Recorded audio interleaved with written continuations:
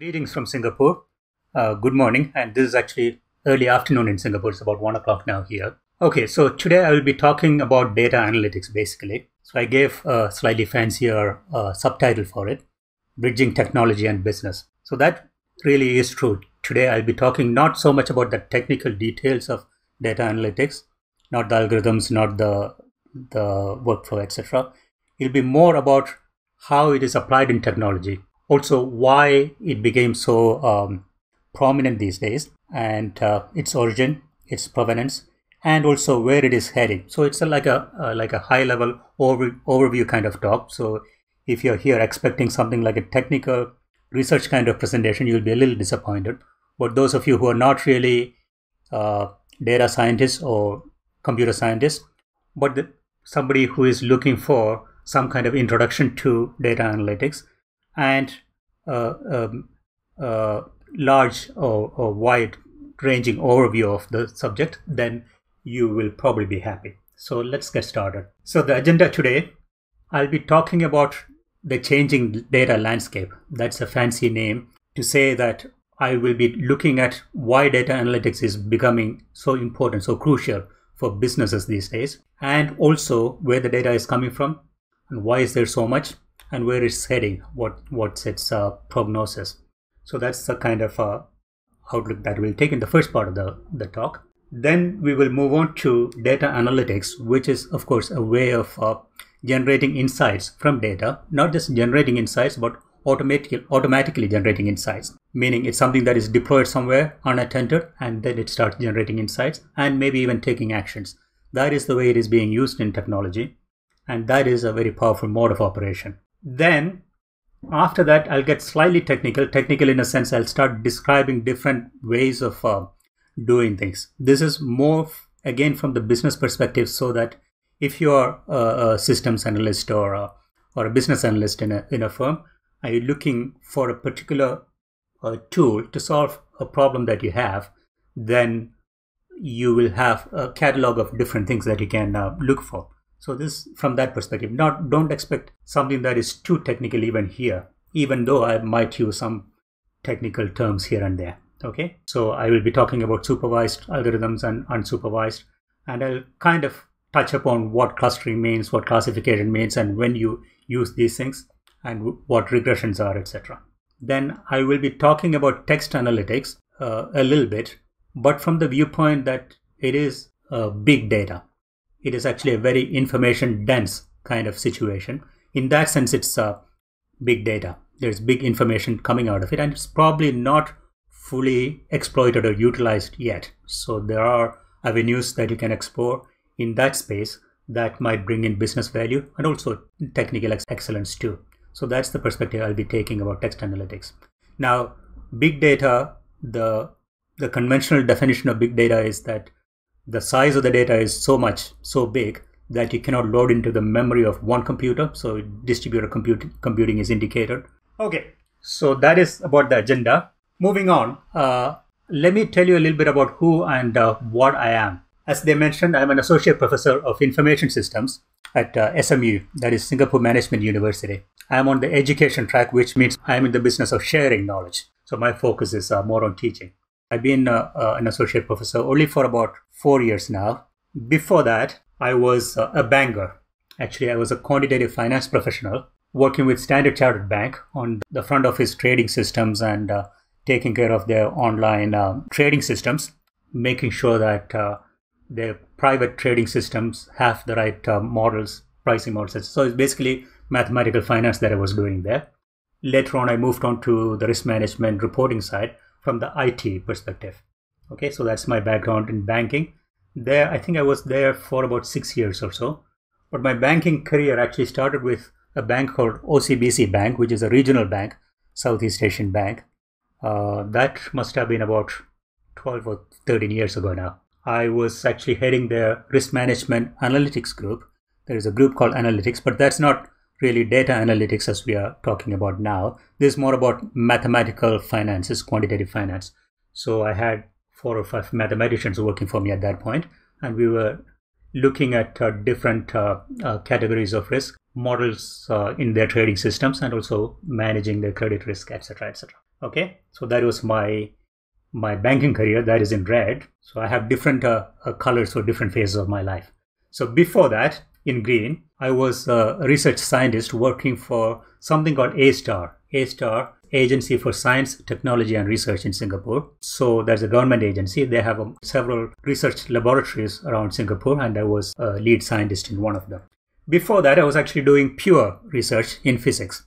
So I was working at CERN, which you must know. This is a, the place where they do Higgs boson and uh, Large Hadron Collider, stuff like that. That's in Geneva. I was employed by the French body called CNRS. CNRS, that is a National Center for Research, Scientific Research in France. So I was a staff scientist for uh, the French government working at CERN. So that was my physics career, which started with a PhD in physics from uh, Syracuse University, which is uh, what they call upstate New York. And that was uh, quite a while ago. And that's one nice picture of the music hall in uh, Syracuse University there. So that is in purple. Before that, I was an engineer. So my undergraduate degree was from IIT Madras. All right, so this is my progression. I started as an engineer, then I turned into a physicist, then came to Singapore as an applied researcher some 22 years ago. Then I quit that and wanted to make some real money as a banker. So I did that for some time. And then I kind of retired and then decided to come back to academia and then uh, become a professor. In that vein, I actually have a couple of books. The first book is actually on the philosophy of physics. So that is a uh, called the Unreal Universe, and I called it a study in applied spirituality. But it's not really spirituality; it's more about spiritual philosophy and how that is reflected in uh, physics and uh, and neuroscience and uh, and different branches of uh, human knowledge. That is that was the exploration there. Okay. Then I was hired to write a book called uh, Principles of Quantitative Development, which is a banking kind of book. But if you want to know more about me and my lines of thinking, go and look up uh, the first book. Then, on top of that, even though I'm approaching the grandfather age, I do keep an active life, doing quite a bit of badminton, play quite well for my age, and uh, writing and blogging and philosophizing. So, philosophizing is one of my uh, traits in my class, my classes. And uh, at times I might go off on a tangent and start talking about the philosophy behind uh, certain things that are happening or certain topics that I'm explaining in the class. So that might happen even today. All right, so that is my background. Moving on, I'm going to talk a little bit about uh, Singapore Management University, my home school. This is uh, a young university. It was established only in 2000, 20 years ago. It's a management university at the heart of the city. It's in uh, what you might call downtown Singapore, the heart of the city. Okay. In Singapore, we call it the CBD, Central Business District. We have about 10,000 students, so 80% of the students are undergraduates, and we have six different schools. It's a management university, it's a business school. So my home school is actually information systems, which is like a computer science department, but focused more on topics that are closer to business, which is why when I give this talk, I'll be talking about business and how the interplay between business and data analytics more than just data analytics proper. We have five other schools accountancy, business, economics, law, and social sciences. All in all, we have about 350 faculty members across all six schools. We do produce some impressive research. In particular, in my school, there is a program called Master of IT in Business that is ranked number one in Asia, 14th in the world. So this number one, being number one in Asia, is uh, extremely satisfying for us because number one in Asia, of course, means number one in Singapore also. And Singapore does have a couple of more established uh, universities, and being able to beat them in this particular uh, program, we are extremely gratified. Okay, so this is something that we highlight again and again. So that is about the university, but nothing tells you more than showing you some pictures. So let me show you a couple of uh, pictures about the university. So that is one nice uh, uh, shot about the, this. I believe is a School of Accountancy night shot. Okay, the campus really is quite beautiful, even though it is uh, right in the heart of the city. It's not uh, not you know uh, where you have a lot of space, but we've done an excellent job, or they have done an excellent job, making it very beautiful and green. Okay. So this is uh, our library and it's the library from a different angle at night, which looks very nice if you ask me. Then I wanted to show you some pictures of the students and their activities. I couldn't find any pictures on online, so I went to our prospectus and scanned a couple of pages. So our students are extremely active, not just in uh, in uh, studies. Uh, they are vibrant. They have a very vibrant student community. At times, I finish my uh, class late at night, uh, say 11 o'clock in the night. I'm kind of so tired and dragging myself to my car walking through the basement. We have a basement connecting all different buildings of the school. And then you see all these students at 11 o'clock in the night dancing around and jumping around, these youngsters with so much energy. So it's a very vibrant uh, student community that we have. So the reason for telling you all these things is that if you guys are looking to uh, uh, send your kids somewhere, uh, do consider our university. All right. Now the geography, like I said, it is downtown Singapore or the CBD Singapore. So this is what it looks like. The things in the foreground that you see, things in uh, amber, like two, three, four, those numbers in amber, in yellow or orange, those are uh, the university buildings. So my university, my building is uh, number three. It says the gym because gym is actually in the basement of my building. And back there you see the skyline of Singapore. The three things to the right, uh, three uh, uh, pillars to the right, top right corner of the the picture with that boat-like structure on top of it. That is the iconic Marina Bay Sands building. And then slightly to the left of it, number nine would be a hotel. Uh, this used to be called Westin Stamford. And that is where I actually got married uh, 25 years ago now. Okay. So very close to all these activities and downtown in Singapore. So, uh, like I said right in the beginning, this talk is not going to be a technical kind of talk. It's not a research talk. It's a high level talk. So I'll talk about different aspects of data analytics, trying to answer questions like what, when, how, why, who, etc., etc. So that is my plan. So to set your expectations right again, it's not a research or technical talk. If you have such talks, I'm sure you have such talks in the conference, but this is more of a big big picture kind of talk. Okay? So this is not I'm not a computer scientist as you saw from my background. I was an engineer, but I became a physicist, so I'm more into fundamental kind of uh, research. And right now I'm an educator, so I'm not a practicing computer science scientist. So it's not that kind of talk. Okay. So this talk will be most appropriate for people who are looking for a career in uh, business analytics or mid-level management or even entrepreneurs. Okay. So that is the the layout. So let's start with the the why question, the reasons behind data analytics. Okay why is it so popular? So I used to teach a course called uh, uh, Analytics Foundation a couple of years ago. That is like the first introductory course in data analytics. And in my first class, I used to say that uh, these skills that you learn in this course are practical and necessary skills for a business career. Okay. So digging a little deeper into that statement, in the last couple of decades, computer literacy was expected of you when you join a company to work in any capacity. So computer literacy means being able to use a computer, like uh, Office Suite, uh, Word, Excel, etc., doing uh, web surfing, email. So basic things.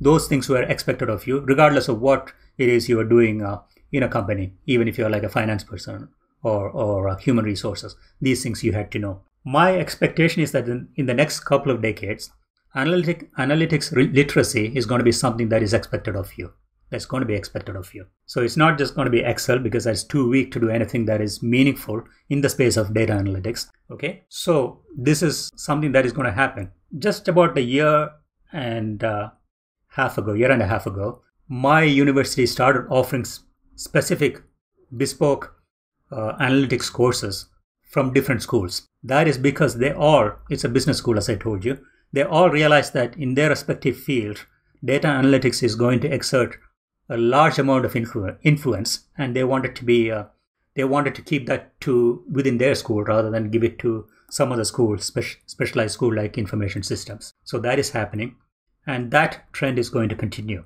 Maybe it is already there in the the workplace. So maybe when you apply for a job now, even if you're doing something that is uh, very unrelated to data analytics, you might be called upon to do some level of data analytics kind of studies, like uh, if you're in a in a retail business, you might have to look at your customer database and maybe segment them into different uh, groups to drive some marketing campaign. That would be a, cl- a clustering kind of pro- problem. those things you might be expected to do rather than farm it out or outsource to a different uh, company. So that I think is going to happen. Okay. But why is this happening? What are the, the drivers behind this trend? So that is what I want to look at in the first part of this talk. Okay. So this is what I would call the changing data landscape. So let's look at the mega trends in the data landscape. The first thing is if you look at data landscape, not data specifically, but the whole uh, operation of uh, digital businesses, etc what you will see is that data is being generated. The data volume is increasing and the variety, the variation, the kind of data that you get also is increasing. So that is the first trend. The second one is the consumption part. So the, there is a generation part, which is the supply side of data. And there's a consumption part that is the the consumption, uh, meaning it's the pull side of data, demand side of data. That also is uh, increasing in terms of not just in terms of uh, the volume but also in terms of expectations of speed okay? And in that sense data velocity how fast you have to create an insight starting from the data you have that also is uh, is uh, uh, increasing. And underpinning all these things supporting all these uh, changes are the technology evolutions in uh, in uh, the space of data. So these are the different things that we will look at okay? So there is a real veritable explosion of data that is happening. Okay, exponential growth in data volume in many fields, and it is expected to continue. There is no end in sight. Then there is uh, uh, demands on the data, the requirements coming out of customers and uh, business partners on insights and uh, reporting requirements, uh, especially in banking, for instance, from uh, regulatory bo- bodies like like monetary authority of Singapore, for instance. Okay, so even the customers are becoming more sophisticated in their demand of what it is that they're looking for in data. Okay, and the speed that is an interesting uh, concept. The velocity of data, how it moves from one platform, generation platform, to a, a consumption platform, which is the inside generation side, and how fast it has to be done. It is ne- real. It's uh, near real time these days. Okay almost real-time requirement okay so once it becomes that level of speed requirement there's no way a human analyst can actually do this you don't have enough time for somebody to collect the data do some preparation and then run it and then generate out, outputs look at the insights and then present it that takes far too long even for a very experienced data scientist it might take half an hour but half an hour is not real time okay real time is uh, when a car going on a highway decides to brake. Okay, that is real time. And if, uh, if it is a data science engine that is dri- driving that decision, that has to happen in real time, not at any, not with any kind of delay at all. Okay. All right. So system innovations, technology innovations, that also is something interesting to look at. So we'll look at that one also. Technology costs, as you know, there is this uh, famous Moore's law, which says every 18 months, the amount of computing power that you can buy for say thousand dollars is doubling every 18 months and uh, so is uh, the the data storage technology okay? And that really supports uh, big data especially the requirement on data velocity and the size of the data driving the big data. So this is the general outline of my next five minutes of uh, presentation. So let's look at the first one which is data explosion. So where is the data coming from? As you might have as you know certainly, but you may not have appreciated it all the time. You are always walking around with a sensor. Your smartphone is a sensor. It's got many different sensors. That is generating a lot of data. Okay. So in addition to that, you might have an Apple Watch or a Fitbit, etc. That is for health monitoring, how many steps you took, etc. And also, you might have uh, logistic companies like UPS, uh, FedEx. They also create a large amount of data automatically. In fact, if you think about it, any kind of interaction that you have with a smart smartphone, smartwatch, or a website is a touch point where data is being generated and stored. Okay, so that is a humongous amount of data coming from that. Then that is uh, from the end user perspective, but from the enterprise side also, from the business side, there are information systems generating transactional kind of data from a point of sales, for instance, and uh, customer relations management CRM kind of places, and call centers. Every support call that you make generates audio uh, track of your interaction, which might be transcribed to a text file, and then you can use that for quality control diagnostics etc interesting ideas there okay? And then there are data providers okay? So these would be if you are uh, in a legal field there are uh, speci- specific uh, uh providers. And then also if you're in the ip space for instance lexisnexis and uh, credit rating equifax. And then uh, agencies like bloomberg reuters all those people providing finance finance kind of data index index data okay then there are statistical uh, bodies that uh, and regulators regulators that provide data uh, on a regular basis okay? and then though these are all interesting sources of data but then there's another source that is the web the the internet you can just go and uh, scrape data. That is something that we do uh, as, as researchers all the time. Get data from the internet and then use it okay? But the interesting thing is social media data is uh, growing exponentially. And uh, uh, so you have networks like linkedin and facebook of course and then tweet tweets coming out of uh, the us president for instance okay? A lot of data coming up and some more insidious kind of data from uh, browser history web logs uh, blogs okay those things also are there there was one uh, comedian that i was listening to about a year ago who said if you want to see somebody's uh, image as he wants to portray to you, as he wants to project to you, you look at his uh, Facebook page. But if you want to know the real person, you look at his browser history. This is uh, Bill Barr who said it. Okay, Bill Maher, sorry, not Bill Barr, Bill Maher. Okay, so so that is a scary thought. If uh, your browser history is uh, for everybody to consume, that might tell you a lot more than you would like the world to know. Okay, then you have these huge uploads that are happening in uh, Instagram and uh, TikTok and uh, YouTube and whatnot.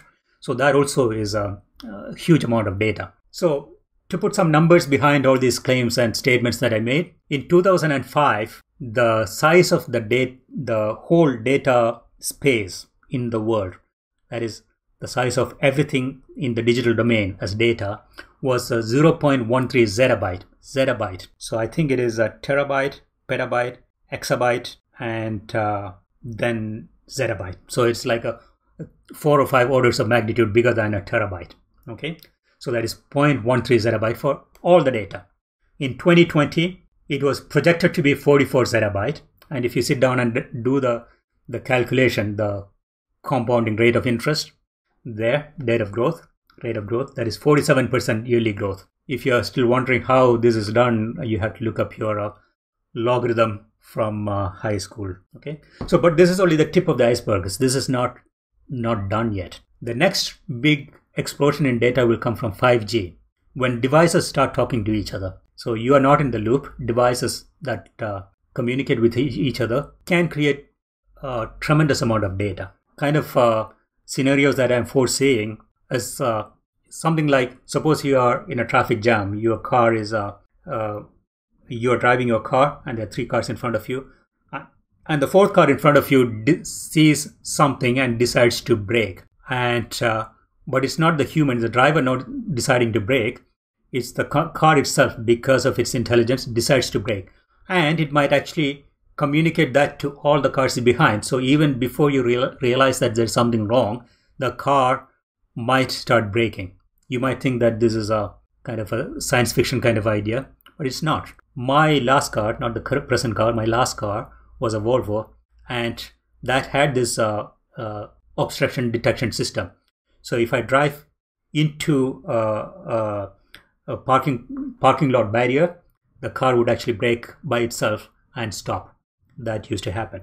Okay, it was a very scary experience for the driver because it's doing something that you are not asking it to do. Anyway, th- those things are going to increase, and that's is that in that context that I said if a car decides to do something, uh, uh, it has to be real time. It has to be the velocity requirement on the data analytics program running that decision would have to be real time.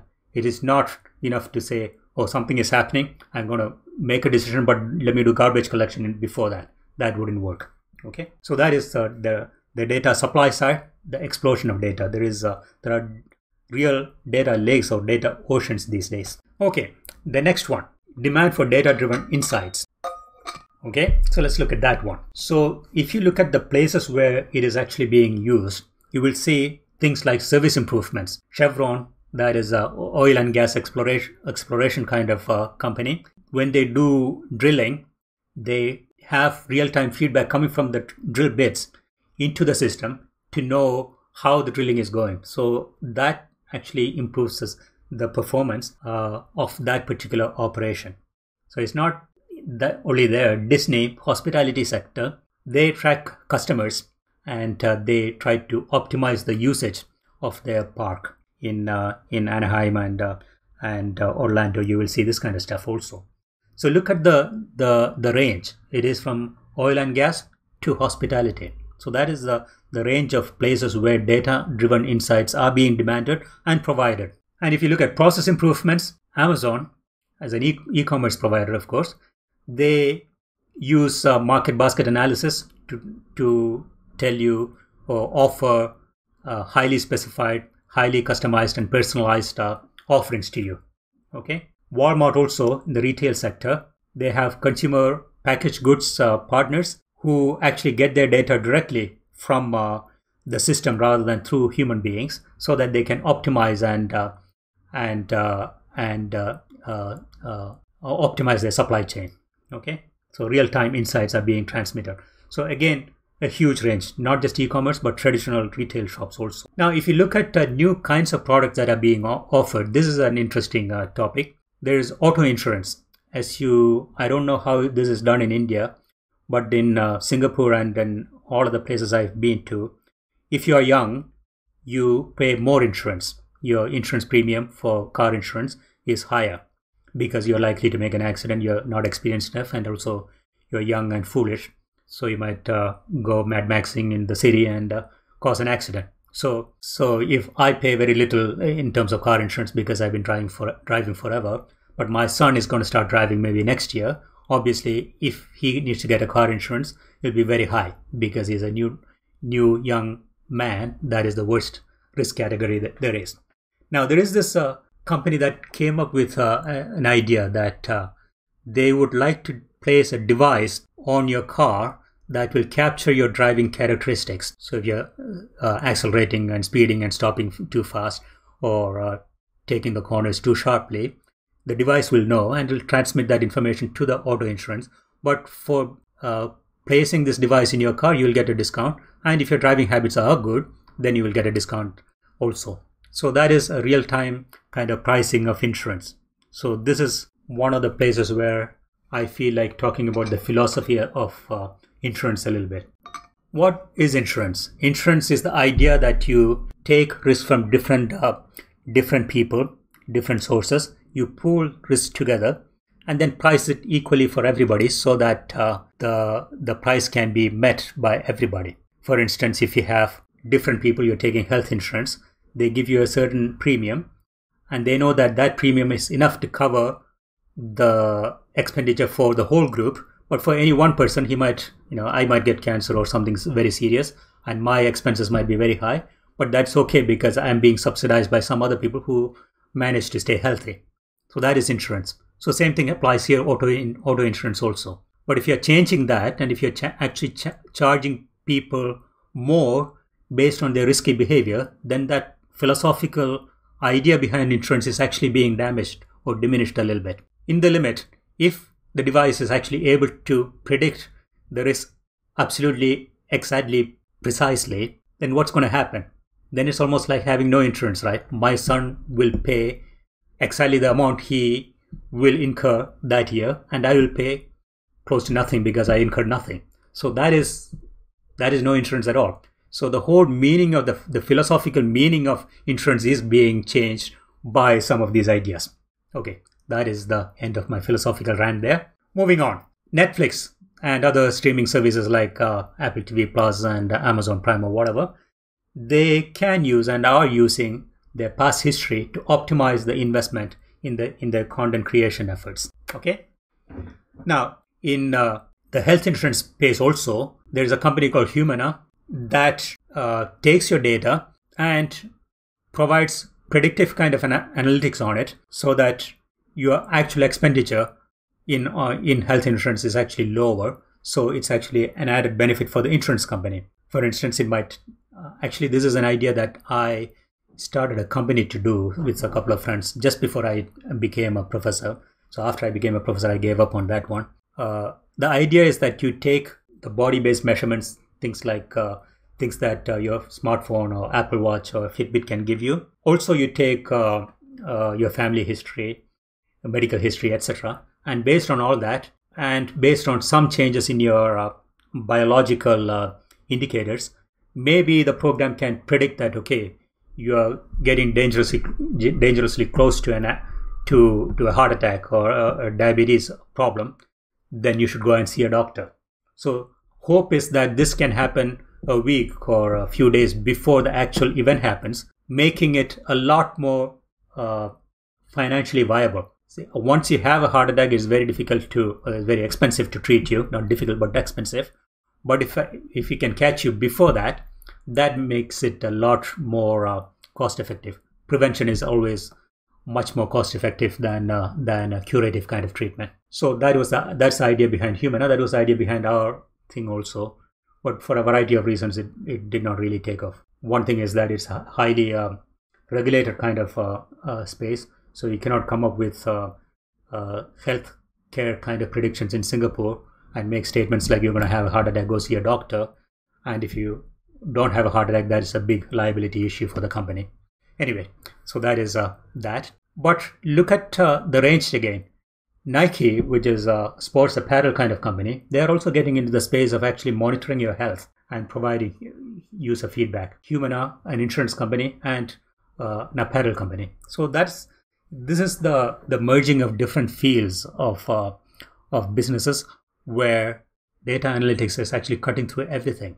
Okay, so service improvements, process improvements, new kind of process uh, offerings, and new business models also, revenue models. So that is that. Then that is one aspect of uh, data. So we talked about uh, the supply side, where the data is coming from, and the demand side, how the data is being used for what purpose. Then let's look at how soon people expect the results, so the insights generated from the data. So there is this, uh, uh, there are these uh, map kind of applications like uh, Waze and Google Map. I'm pretty sure you guys might have used it. And uh, Singapore traffic is pretty good, but I go to Jakarta quite often for personal reasons. And the place where I stay is about uh, an hour and a half or so from the airport, and traffic is pretty bad usually. And I use uh, uh, Google Maps to kind of monitor where the traffic jams will happen and how long it's going to take, etc. And it's very interesting. I, it got me thinking: How does uh, Google know, or Google Maps know that uh, the traffic jam is in a particular segment of the highway? So I thought about it.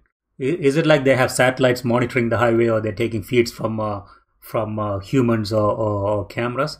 No, it's not that. It's actually every user of Google Maps is also a data provider. When I'm using Google Maps, I have my GPS on, of course, and it, I'm providing data on my speed and uh, position to Google so that Google knows if I slow down, it's probably because of a traffic jam. So a data purveyor, a data consumer is also a provider of data. That is quite interesting.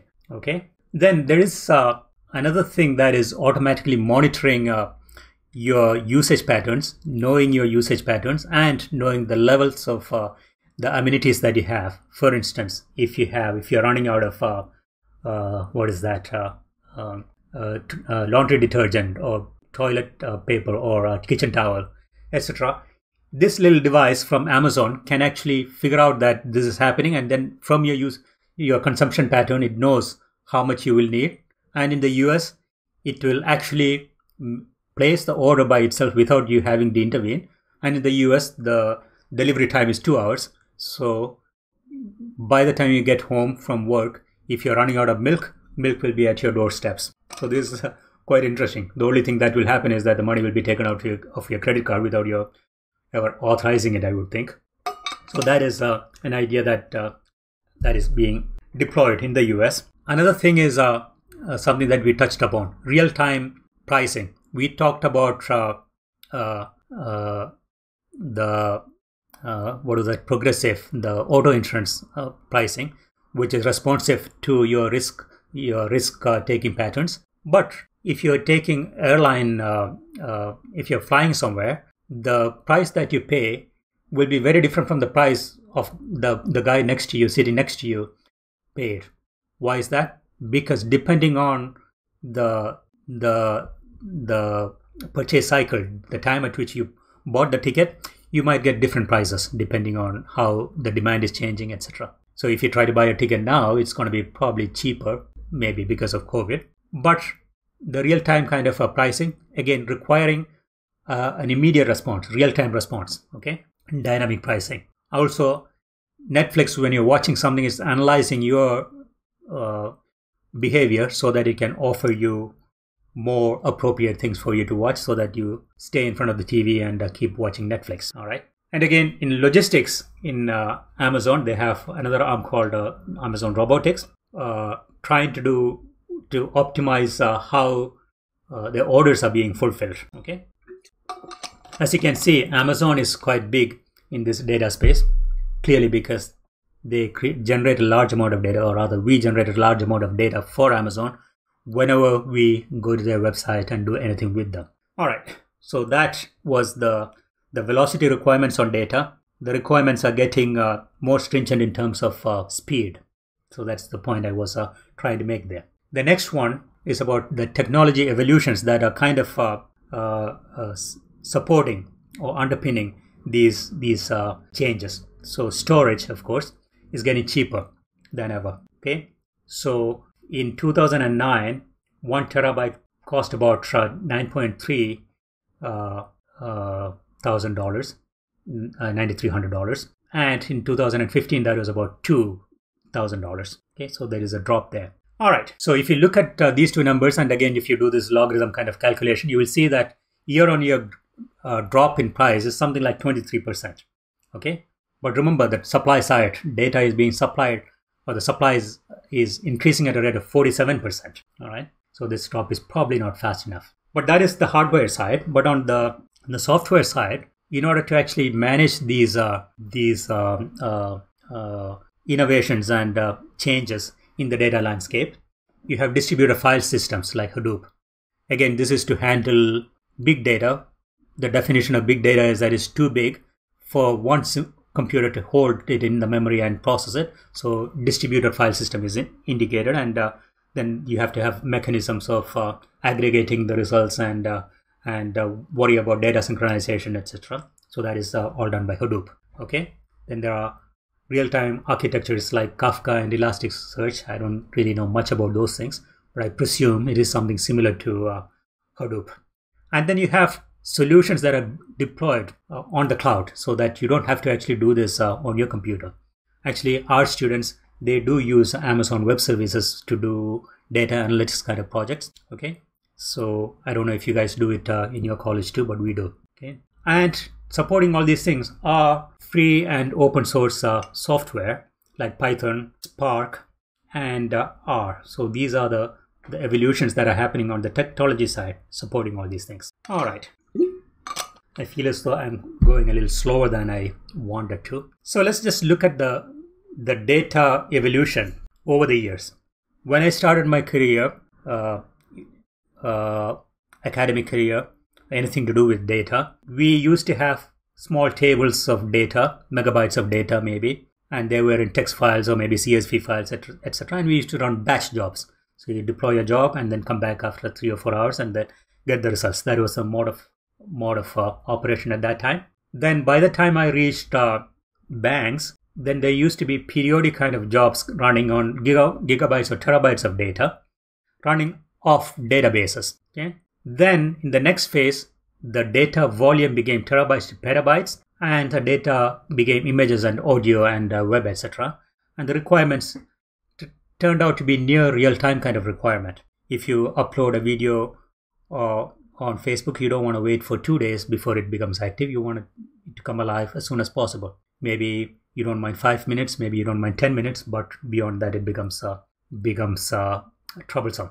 All right. Then, with the explosion of video kind of uh, social media like uh, uh, uh, YouTube and and TikTok and whatnot, coming out of mobile platforms, the requirements are even more stringent in terms of time and the, the volume is in exabytes. And the next phase of it is going to be 5G, ultra low latency kind of uh, networks and in Internet of Things where data will be generated by device to device interactions without a human being in the loop. And it's going to be massive device to device data lakes or data oceans, I should say.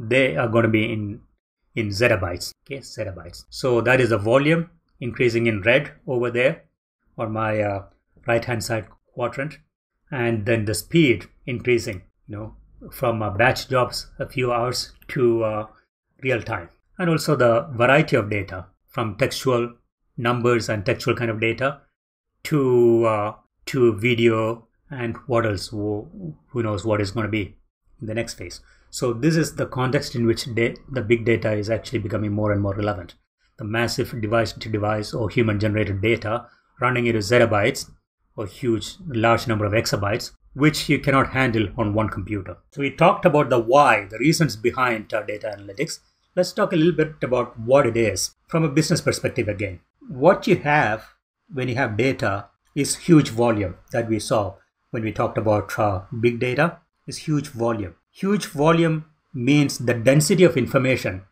the density of uh, knowledge is actually low. As you know, density from physics, you know, it's a weight divided by or mass divided by volume, and the volume is large, the density is low. So the idea behind data analytics is to distill this information or distill data so that you get you increase the density of information okay? So you increase the density of information. You go up the the value pyramid as it were. So when you're dealing with data you need a database uh, uh, specialist.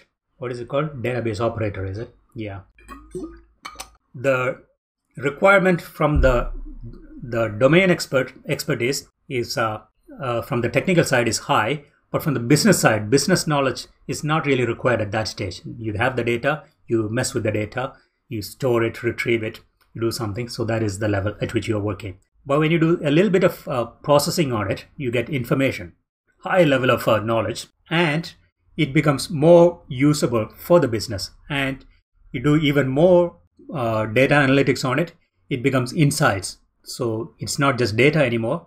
It is going away from the, the technical domain and it's becoming more of a business domain uh, focus. And uh, that will be things that uh, business people may be able to understand.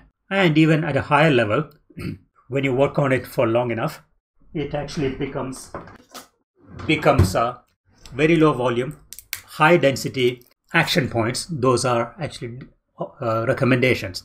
Okay, that can come out of data analytics. So that is the highest density of information, and that leads to actions. That is the value of data. So in the beginning, you have huge amount and the low density. In the end, you have practically infinite density because at that point it's not data anymore. It is an action that is being taken from the business perspective. Uh, expertise in technical domain is uh, not needed at that point, but the business knowledge is paramount, critical at that point. So based on that, let's look at uh, the skill set needed for a data scientist. Data scientist, I understand that this is a an engineering school that I'm talking to, so we tend to think of uh, real knowledge being technical knowledge. When I was in IIT, that's the way I thought also.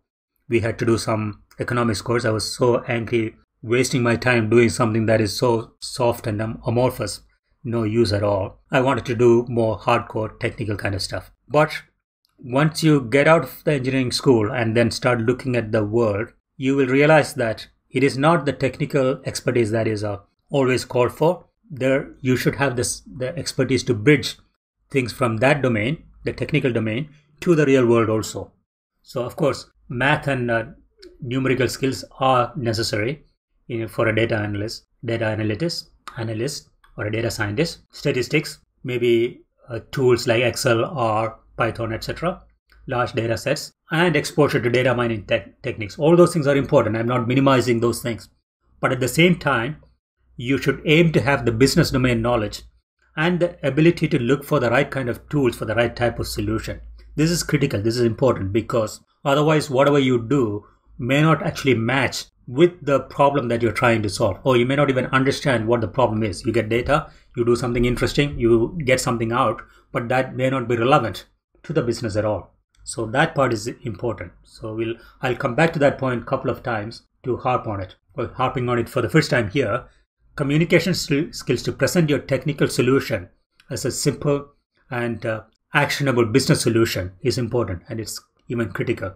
So the points in red, the last two points, that is something that I would highlight over and over again. The thing is, even if you're technically very good, if you don't have these two skills, you will find your career stunted in the future.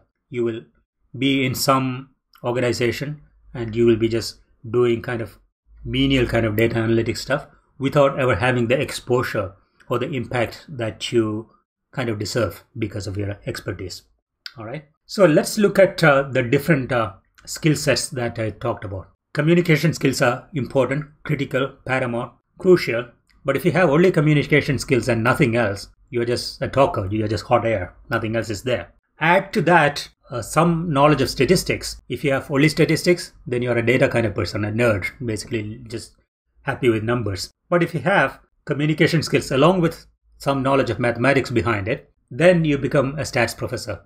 Not totally unlike myself, I would think. Okay. Add to that some programming skills also. If you're good only in programming, you're not really valuable. You're a hacker, but you're not really that valuable to a business. But add statistics to it, to it then you become, uh, you know, part of an R or, or data analytics core team. And add communication skills to it, then you become a consultant. Then you are beginning begin to make big bucks. Okay. And programming and communication will be computer science professor. Again, not unlike myself. I do teach a com- computer science course called linear algebra for computers, computing applications, math course actually. Finally, if you add business, that's when things actually start to take off. If you have only business knowledge and nothing else, then you're just like a, an accountant. Okay, business knowledge and programming, then you are an IT guy.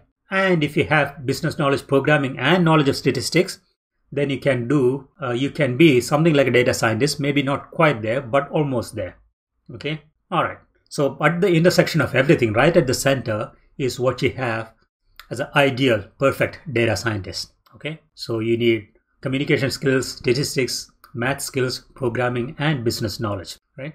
In this talk, we are kind of de-emphasizing uh, probably the programming part, maybe even statistics to a certain degree. We'll touch upon it, but not too much right? So the business analyst uh, skills will be communication, statistics, and uh, business, of course. And that is probably those are probably the people who will derive most benefit out of this talk. Okay, not totally technical kind of people. And I'll be highlighting over and over again that that skill set, you know, communication and business knowledge, those skill sets are crucial. So there is this paradigm that I saw somewhere called BADIR, is an approach uh, for data science kind of projects, starting from a business question, coming all the way up to a business recommendation or an action point. This is what we saw as a, as a pyramid earlier. So you start from a business question and then you plan your analysis. And based on that plan, you collect your data and you derive insights and then you come up with recommendations. So this is the whole value chain. You, can you kind of figure out where data analytics sits in this value chain? It sits between two numbers 1, 2, 3, 4, 5, 6, between two of those numbers. Can you tell me where it is? Let me look at uh, my 3 and 4. Excellent. Yeah, that is absolutely right. Okay.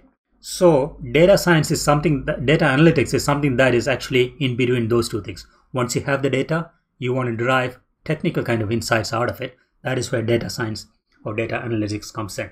All right. So you can see it's only a small part of this whole chain of uh, or the flow chart of uh, of the project all right but even that small part is actually not just one thing. It's the the data science project how it runs. You start with what we call eda exploratory data analysis and then data preparation then model development and lastly interpretation of the insights. Again where the actual algorithms and programming happens that would be in the third box model development. That is the so-called sexy part of uh, of data science, but that's not all of it. If you actually do a real project, you will understand, you realize and appreciate that uh, it takes about 80% of the time to run the EDA and data preparation part.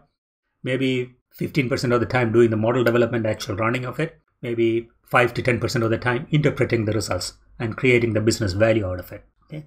So again, what you might think of it as a technical skill has only a very small role to play in the whole chain. All right, no need to pause now because that was quick. All right, so we talked about uh, the why, the reasons behind data analytics, its uh, prominence these days. Then we talked about how it is done a little bit or what it is really. Now, let me talk about the tools. So here, data analytics can be divided into different categories based on uh, method and purpose. I presume all of you know this. You could have descriptive analytics, which is like dashboarding. It's like telling the business uh, user what's going on in the business. It's the status monitoring kind of thing. Then you can have predictive analytics, which would be like what is likely to happen in the future based on what happened in the past. And then you can have prescriptive analytics, which is more like if you want a certain outcome, what is it that you need to change? How do you influence the the, the future? So the first one is just the present. The second one is uh, predicting the future based on the past. And the third one, prescriptive analytics, is about using analytics tools to influence or make the future what you want it to be. So obviously that is the one that has the highest value. So this is not a technical kind of classification. This is based on the method and purpose of the project that you're working on. But from a technical side, you have unsupervised and supervised tools. Okay, I'm actually talking uh, more in terms of the actual algorithms now, not really going into the mathematics, but at least telling you what they are. Okay, so unsupervised tools or algorithms are about finding or discovering uh, patterns. So you have data, you don't know anything about the data, and you're asking the computer or your program, are there any patterns that I should look at? That would be pattern discovery. Okay. Unsupervised means nobody has looked at the data. There are no labels to different data points and or no annotations or comments or no labels really. Okay. So if you have, if you're working with a retail shop and you have say thousand customers and they want to run a, a marketing campaign, but only for their high-end customers, maybe a hundred of them, or they want to run three or four different kinds of campaigns depending on their spending pattern, then you would be trying to cluster customers into different groups. Okay, so that would be a clustering uh, kind of analysis where you have the data, but you don't really know what patterns exist within the data. Another thing is a market basket analysis for upselling. Okay. The second one is supervised algorithm, where you have the data and you already know the patterns, but can computer learn to use those patterns? That is the idea. So this is about pattern recognition or learning. So supervised basically means you have data and along with, the, with that you have some labels. Somebody has actually looked at the data and said, okay, this data means that. All right. For instance, if you're in a bank, if you're doing a, a loan approval, people have done that for ages. So you have data of the customer, and then there's a flag that says, okay, approved or rejected. So those are the labels. And use, using that, if you have, uh, say, 10,000 of such records, you can probably use that to predict the next one without actually going through the process of verifying each one of the points. Okay, that would be learning the pattern, when to say yes, when to say no.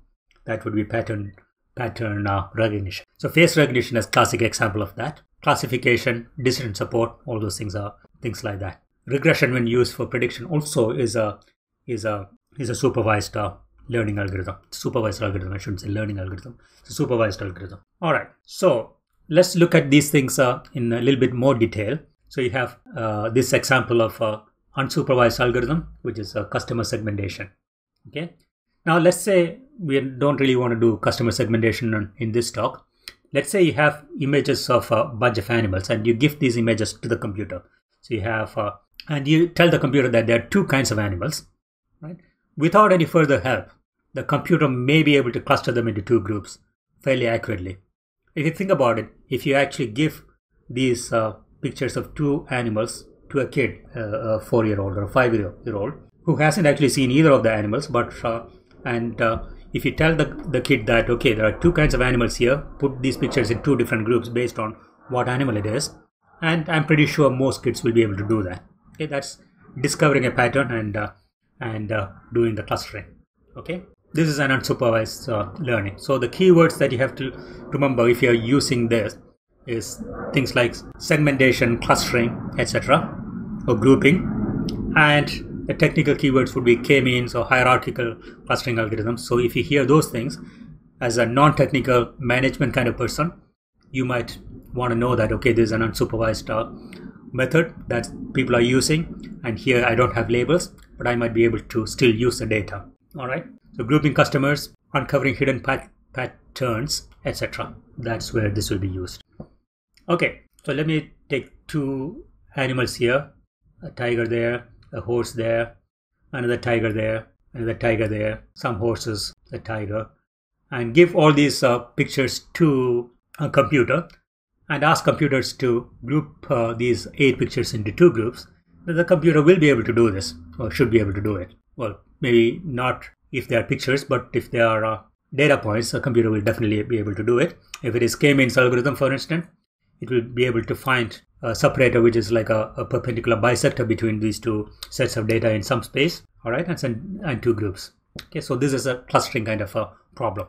Okay, you don't have any labels, you just have photos and you just want to create groups. This, this was a very easy thing. It's a very easy thing for a human being to do, and it's not very difficult for a computer to do either. So I first gave this uh, talk to uh, a, a, bunch of uh, managers or vice presidents from uh, a, a, regional bank. So that's why I have banking example here. So I'm going to skip over the, the banking example because that's not very interesting for you guys. All right. So that is uh, one kind of uh, unsupervised learning algorithm. Another one is uh, about market basket analysis. So if you go to Amazon and if you buy uh, one book, so this uh, book uh, by uh, David Nicholls called One Day, if you buy that, which I actually did, uh, I really like this this author. If you haven't read him, I would highly recommend his books because I believe you know 30 or 40 or 50 years from now, if there is one author that will be remembered as one of the classics of classic authors of early 21st century, I think it's going to be this guy. So David Nicholls. Right. So when you buy one of his books, uh, Amazon is going to come back and uh, give you a bunch of uh, uh, uh suggestions. So you, here, if you look at it, it is David Nicholls again, Us by David Nicholls, then Starter for 10 by David Nicholls, The Understudy by David Nicholls, all those books. In fact, I have read all of them. Or fiction, nothing, nothing very fancy, just fiction but very nice ones. All right, so that is what uh, Amazon is doing. Why is it doing that? Because it knows that if you bought one of these books, if you know that somebody else bought this book, some bought the other book also, you're likely to probably buy it. This is kind of a cross-selling something else. So there is a this. Some people might find this idea of cross-selling or even upselling a bit, uh, what shall I say, a bit of cheating. I actually felt that way some time ago when I was with the bank. I used to have lunch around uh, the central business district, a place called Boat Quay, if you are familiar with Singapore, where you have a lot of lunch places. So once my wife came over to have lunch with me, so I took her to this uh, restaurant in uh. So as I was walking in, as I was looking for restaurants, I saw that this place had a two for one deal. So two lunches for the price of one. Me being a little thrifty, I thought, okay, that's an excellent deal. Let's go in and find out. So I went in there. It was like ten dollars per person individually, but if it is uh, two for one, it's going to be only ten dollars for two. That was excellent deal actually for for uh, that part of the city. I said, okay, we'll go for it. And then since I got a good deal, I thought, okay, I would have another glass of wine, maybe another ten dollars. And then they came and asked my wife, what would you like to drink? She was going to drive, so she didn't want to drink wine. So people, when they get that question, what do you want to drink? They don't typically look at the menu. They would just answer something like ice lemon tea or uh, uh, uh, sweet lime or lemon juice. So that's the typical answer. So she said one of those things. I think it was a, a lemonade. She asked for a lemonade. So when the bill came, I was surprised because my estimate was okay ten dollars for the lunch, ten for the wine, twenty dollars, maybe two dollars for the lemonade, twenty two dollars, etc., uh, etc. Et everything put together, maybe twenty five dollars, twenty six dollars tax and all that. But the the whole thing was close to forty bucks, and I was kind of surprised. So I look at the the thing, and then I saw that the lemonade was actually thirteen dollars. It nine, fourteen dollars. So how did they know that people are likely to buy lemonade if they bought the other stuff or if they walked into the restaurant at all? So they were actually cheating a little bit because nobody expects the lemonade to be fourteen dollars. They expect it to be two dollars. But we ended up paying fourteen dollars, and they made their money even after they gave me the the discount. So anyway, that is the nefarious part of a of a market basket analysis. Okay, so so this uh, little cartoon that says if you bought bananas, you're also likely to buy carrots and uh, potatoes and whatnot. So that is uh, making fun of Amazon. Okay, so that is market basket analysis. Anyway, trudging along, then let's move on to supervised algorithms. Okay, let's talk about classification. What I might have in that case is a bunch of photos and the corresponding labels. So I'm telling the computer that this photo is a tiger, this one a photo of horses, the next one is a tiger, that one is a tiger, and that is a horse, and there's another horse. So I have the data over there and the labels. So that is the annotation or the label. So I'm giving computer this information and expecting the computer to learn it and use it for some other new photo that it hasn't seen before. So I teach the computer, I run the algorithm, train it, it's called training, and then I give a new photo and ask the computer, what is this? The computer is likely to come, come back and tell me that it's a tiger. It's fairly obvious. So that also is come, come back and tell me that it is a, it is a horse. But what if I give uh, the computer that photo? In all likelihood, if computer is not intelligent, it just knows that, okay, the world contains only two kinds of animals, tigers and horses. And this looks more like a tiger than a horse. So it'll probably come back and tell me that it's a horse. Obviously, for us, we can take a look at it and say that it's not a horse, but computer doesn't have that, that contextual information. A donkey looks closer to a, a horse than a tiger. Okay. So of course, your training data set has to be complete and the labels have to be complete. And in that case, you can actually expect the, the, the algorithm to perform well. Okay. My colleague in this uh, training course, he used to tell me this uh, idea of GIGO, garbage in, garbage out. If your data is garbage, your output is going to be garbage too. All right. So some of the possible applications, mostly from a business, uh, from a banking perspective, uh, loan approval. Right now, it is done by loan up is done by internal metrics like cash flows and assets and liabilities, or it can be done by external metrics like credit rating. And the classification is yes and no. So that is the way it is done. But it can probably be because you have done it for thousands and thousands of people, you have the data and the corresponding labels. You can let a computer learn it. Another one is a counterparty credit uh, risk management. This is a more technical thing that happens in a bank. When a bank wants to deal with another bank, it wants to know how much exposure it wants to have against the other bank. That is managed used uh, uh, using uh, either limits, credit limits for the, the, the counterparty, or using the the counterparty credit uh, rating coming from rating, rating agencies like Moody's, uh, etc. So that can probably also turn into something like a classification algorithm because again because you have the data with the labels and the new data point is coming in. You just run it run the algorithm it will be a lot faster and probably very very accurate. So those are things that can be done. It probably is not being done yet because they're worried about the the explanatory power the how much of the decision can you can explain. And that is a, a weak point of uh, some of these uh, supervised learning algorithms. Anyway that is a technical point remember my uh, uh, colleagues' uh, motto, GIGO, garbage in, garbage out. Models are only as good as the training data. Okay, so classifications may not be accurate unless your training data is uh, is clean, and that is why the exploratory data analysis EDA is very important. Data preparation is very important. Okay, now the next one I want to talk about is uh, another kind of uh, supervised learning, which is a prediction of values rather than classes. Uh, in the last example, we had tigers and horses. So two classes of animals, either tiger class or the horse class. But what if it is not a class but a number like a stock market in index or something like that? Okay, so that is a, a predictive an analytics. So this is a linear regression that I'm talking about or auto regression. Okay, so that is can be used for something like uh, the turnover of a company next year based on the last five years, how it is growing, that will probably predict what it is going to ha- what's going to happen next year. That would be a straightforward linear regression analysis. But if the revenue depends on more than one uh, input, not just the previous uh, inputs, but also maybe the stock market index or the the the house price index, etc., etc., then you might be able to get more accurate predictions using multiple linear regression, okay? more than one one input variable okay? So it's not just limited to time series data. It can also be like predicting the the, the price of a used car using things like uh, its mileage the the price of the corresponding model as a new car etc all right. So this uh, some data that i collected from my students to illustrate this point and uh, showed it to them. I want to actually spend a minute on this one to kind of illustrate two points. So this is the data of uh, weight on the y-axis, okay, weight on the y-axis and uh, height in on the x-axis.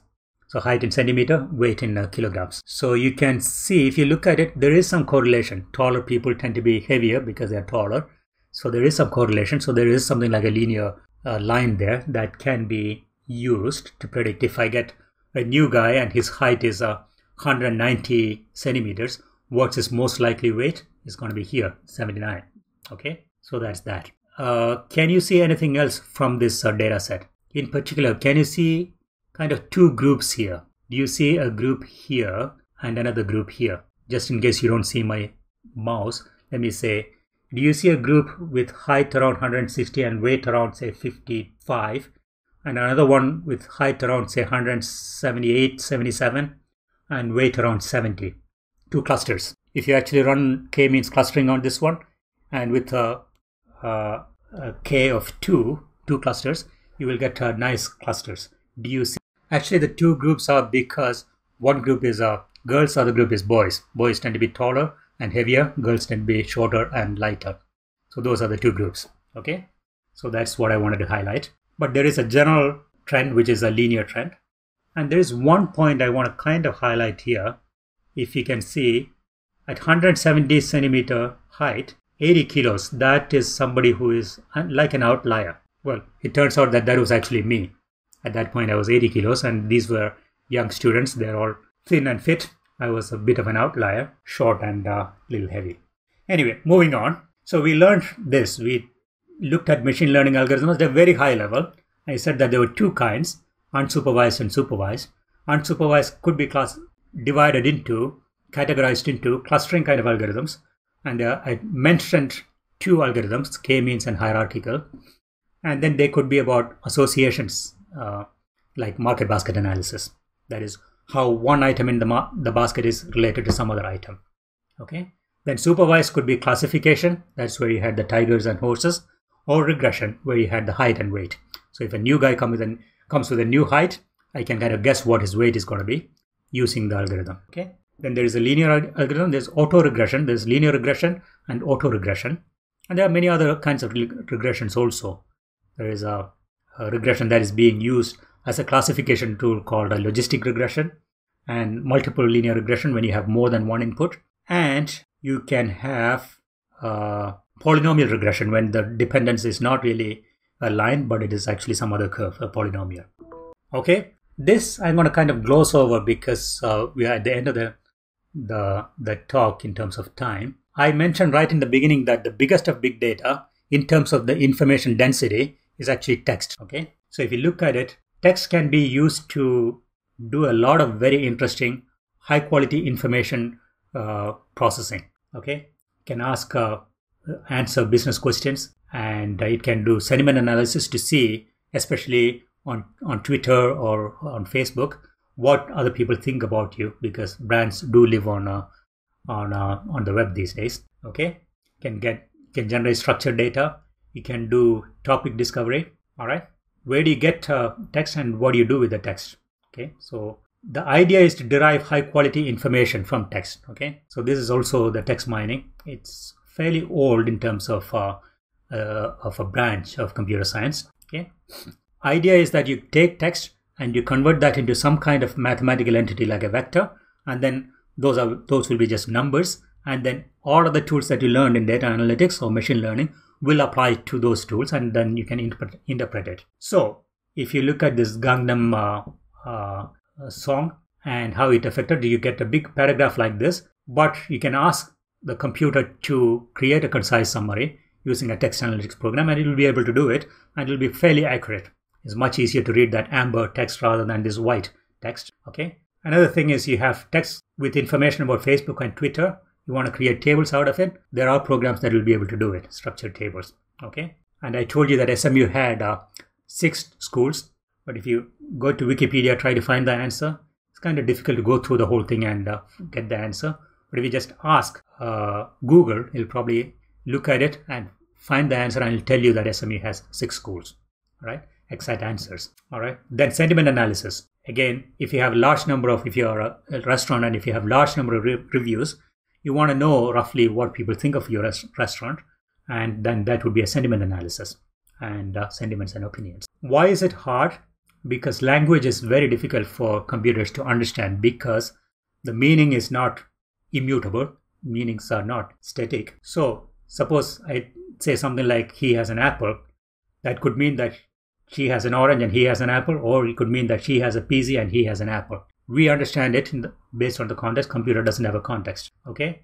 And if I say some boy Sammy ate cookies on the floor, it mean might mean that Sammy picked up cookies from the floor and ate it, or it could mean that Sammy sat on the floor and uh, ate the cookies. So who is on the floor? Okay. What's on the floor or who is on the floor, cookies or Sammy? So there are different kinds of ambiguities coming out of it. I'm, I know all these things because I'm actually teaching a text analytics course next term and I'm learning it right now. So it's all very fresh in my mind now. All right. Then there is a, there are these dialectic dialect problems. You know, UK has one dialect and uh, US has a different dialect, and that creates a problem. And then because of uh, synonyms and uh, synonym-like sentences, you have these two sentences mean the same thing, but to a computer they have no similarity at all. There are no well, there's only one word that is in common. Okay. So if you look at these two also, meaning the same thing, but very different sentences. All right. So text summarization is a is an application or a task. Information retrieval from unstructured data to structured data. Question answering, sentiment analysis, and topic modeling. These are the different uh, things that you can do with text analytics. All right. Why are we doing it? Because large amount of textual data is being generated online, social media especially uh, Twitter. Okay, and complaints actually happen or are logged first on the social media before they come and talk to you. They might start complaining on Instagram. Okay, and other people's opinions and uh, reviews do affect uh, your bottom line, the business's bottom line. Brands do live on uh, on the internet these days. So now it's time to wrap it up. We talked about uh, the mega trends in the data landscape.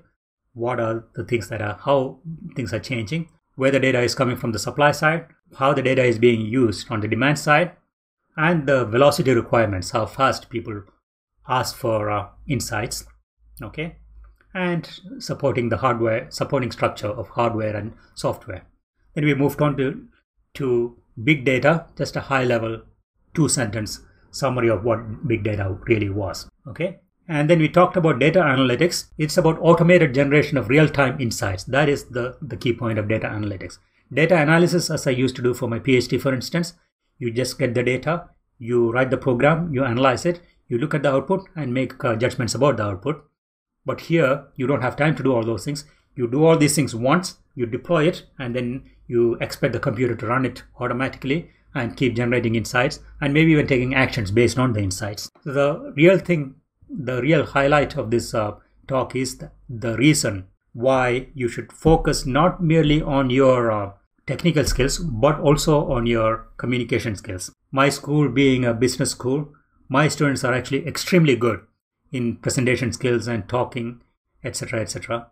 And they will do well in their corporate careers or business careers because they have the communication skills and enough uh, technical outlook to shine so this is important. You, uh, I feel a little sad for my uh, fellow um, engineers from India and from China, where their communication skills are not very good. Do not ignore the communication skills. Pay attention to it and uh, work on it so that you are not stunted in your career path.